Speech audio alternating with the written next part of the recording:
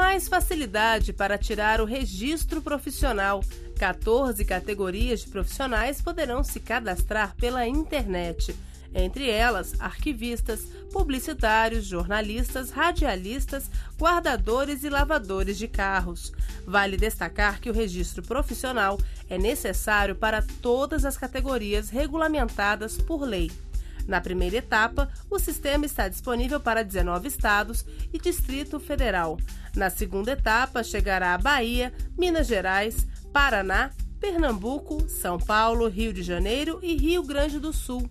O cadastro pode ser acessado nas páginas das Superintendências Regionais do Trabalho e Emprego. Mais informações em www.mte.gov.br.